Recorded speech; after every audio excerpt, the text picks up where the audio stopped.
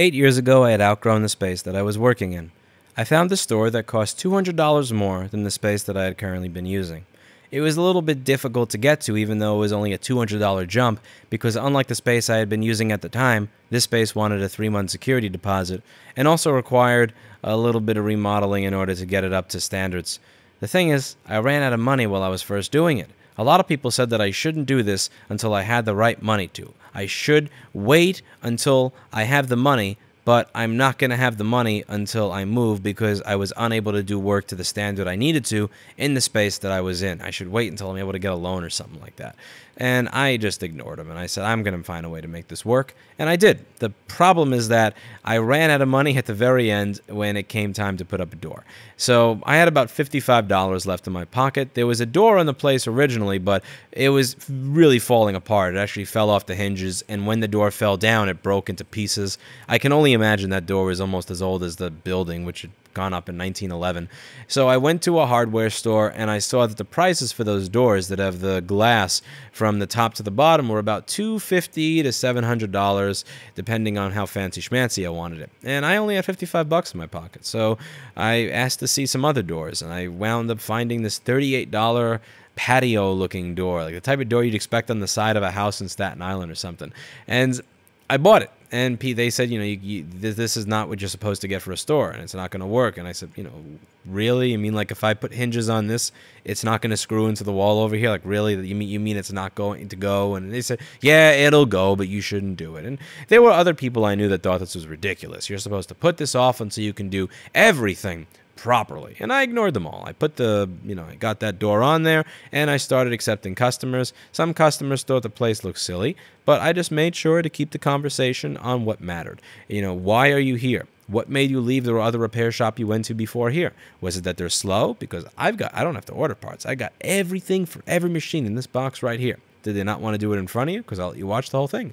Did they not want to give you an estimate for free? Because I'll let you know what's wrong with it and I'm not going to charge. I made sure to put attention on my ability to solve their problem rather than allowing their attention to wander to the fact that the place looked a little bit silly and not like a store you'd expect to see in Manhattan. And what happened? Well, six months later, I made enough money that I was able to afford this storefront that actually looked like a store and not like some shady place where somebody's going to rob you. And it worked because when I moved to this place, I went from zero subscribers on YouTube to 980,000. I went from one employee to 13 employees. I went from fifteen to thirty thousand dollars a month in gross revenue to 120 to 160 thousand dollars a month in gross revenue.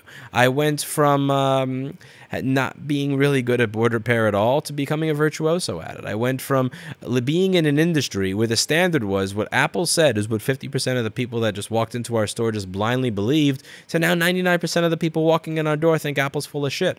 And all of the change that occurred in my industry and at my company. All of the stuff that happened over the past eight years. I kind of wonder, would that have happened if I had listened to the naysayers that said, you're not supposed to get a store if it's not fully functional from the beginning the way it's supposed to with a proper door and a proper storefront? You should wait until you're able to get proper financing to do all of this stuff. Now, I've been in business about well, like 10 years now. And as I mentioned in an earlier video, I still can't get financing from uh, most of the you know standard institutions unless I'm willing to go for these ridiculous loan rubbish loan sharkish kind of you know like those spam emails that you get where they offer you something and you call up and the interest is insane. And so if I I'd still be waiting there'd be no YouTube channel probably. There'd be no board repair. There'd be no lessons on board repair. There'd be no change in the industry, and above all, there'd be no growth at my company. I wouldn't have went from one employee to 13.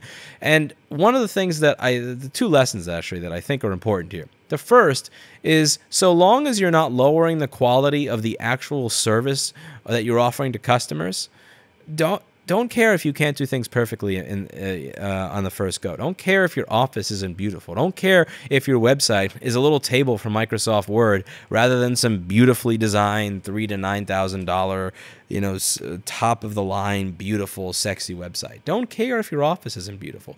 Don't care if you're doing most of the work yourself. Don't care if you're if you have a store door that looks like a patio door that makes customers go, What the heck is this? Because at the end of the day, it's better to do something. It's better to have a good business than to have no business. You're not going to have a perfect business in the beginning unless you were born, you know, born on third base on cloud nine with somebody else's money or just get really lucky. But what you can do is you can have a good business, and a good business can eventually become a great business, and a great business may be able to eventually become a near perfect business. But you're not going to start perfectly.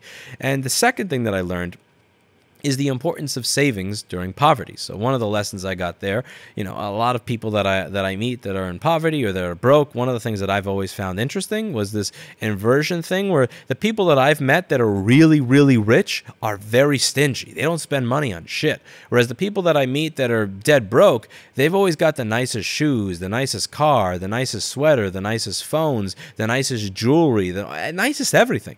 And part of the mindset that I realized for myself is when so people have money, they have these large goals that they want to reach, and they don't want anything getting in the way of it. Whereas when people are broke, at least when I was broke, I would think, well, I'm never going to reach the goal that I want to reach. I'm never going to buy a house. I'm never going to be able to rent a store or anything like that. So if I worked eight or 10 hours today, then yeah, I might as well spend twenty or thirty dollars on lunch out. I might as well get myself a nice, uh, you know, a nice treat or a nice piece of electronics or a new toy or something because it'll give me some joy in the here and now. And I'm never gonna have joy later because I'm never gonna be able to save up enough money or make enough money to actually afford this stuff. So I might as well enjoy myself now, at least, uh, you know, if, if I'm never gonna have any money at all. And I, I had that mindset at times in the past, and I just kind of wonder how that would have went while I was building the store. Because when I finally found this opportunity where every last dollar mattered, so that I would be able to put together an actual store and get the floor done and get you know everything going and be able to get a door in the front. When every last dollar mattered like that, that where it could have made or bro- make me or broke me, I was very, very happy that I had entered the mindset of saving every penny. I was very happy that I had the, the mindset of having cheap clothes and because every single dollar mattered. That 38 bucks at that door that I bought at that hardware store and that 10 or 12 bucks I spent on the cab back, that left me with $5 that I was able to use to get some food. This was about early January by that time when the construction was finishing up. And this is a very slow, that was the slowest time of the year. So you know, it, it really mattered and it really made a difference. And I was able to open that next day when I probably wouldn't have uh, been able to open properly otherwise. And it, um, you know, it's hard to have a store when you don't have a door. And it, it worked, you know. So the two lessons I learned there were just don't wait for things to be perfect. Uh, you know, if be willing to open your store with a patio door. That's a euphemism or an analogy for something in your business or something that you've been procrastinating on. Then by all means, go with it. Use it as inspiration. And be willing to put some money away because even if you're broke, even if you're putting away the tiniest bit of money, you never know when an idea is going to come up someday where every last fucking dime and dollar and penny that you saved is going to be a dime, dollar, a penny that you're able to put towards the idea that you now have that you didn't have yesterday. And when that idea comes up, you're going to be really pissed if you spent that money on consumables and stuff that depreciates in value rather than on the things that really matter. I need to move again. I need to get a new space. Uh, I can't fit 13 people in the space now. I'm happy that we've went from one person to 13. I'm happy that we have 25 to 40 boxes coming in every day from all around the country. And one of the things that's kept me from moving is this idea that, well, you know, if I move, I don't have the money to do everything perfectly. I'm still at a point right now where financial institutions, besides those loan sharky like ones that you know randomly spam email you and have loan sharky interest rates, which I'm just never going to use. Um, you know, I don't have the financing to do it properly. I don't have the financing to go through and rent a new space, pay the deposit, pay to have everything redone the way that I want it to be done. But you know what I could have if I moved, even if I don't do everything perfectly? Space. Space to actually take things in, space to not be stressed, space to hire another person if I need them to do a certain job that I need done.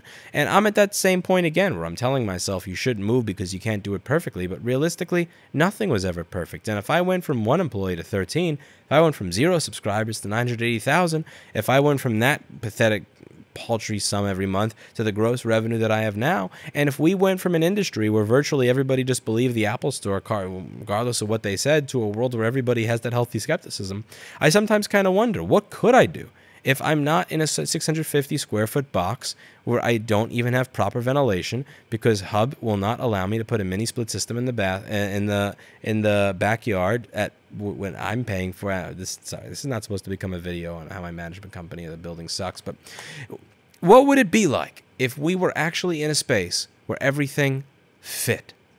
And the thing is, I can afford that. I can't afford perfection, but you know what I can afford? Space. And it's a lesson that, you know, I learned myself eight years ago. And I'm telling you, but I still got to remind myself of it because every now and then it's just easy to get into that that mindset where things have to be perfect. And I think so many people are afraid of failure that they make excuses about why they can't do things perfectly and go, "Well, if I can't do it perfectly, I can't do it at all." Yeah, I just don't know everything about the licensing. And yeah, I'm not sure, you know, I have to make a website and I have to make business cards and I have to do this and I have to do that and I have to do No. What you do is you put up an ad for what it is you claim you can do or find somebody who needs it, what it is you can offer, and you offer it and you go from there. I'm not saying that you should cheap out and do garbage work where you're actually going to get people in trouble or lose their data or be liable for something but because you didn't do a good job. But if you have the ability to do a good job, don't worry about the fact that the space doesn't look perfect. Don't worry about the fact that other people may think that you're not a real business. And don't be worried about the fact that you may open with a place that has a patio door like this. What I want you to think about is how six months later, if you're doing your job right, you'll have a space that looks like this. But you can't have a space that looks like this without starting from a space that looks like that, unless you were born on third base or on cloud nine, in which case, God bless you. But what I hope you get out of this is the lesson that the, per- the perfect is going to be the enemy of the good and that you should shoot for the good. And there are people around you that are going to make you feel embarrassed, that they're going to make you feel stupid, silly, like a jackass. But all those people that made me feel like a jackass for the fact that I was opening one of the only stores in New York City that had a patio door, you know what they don't have? 13 employees. You know what they don't have? Almost a million subscribers. You know what they don't have?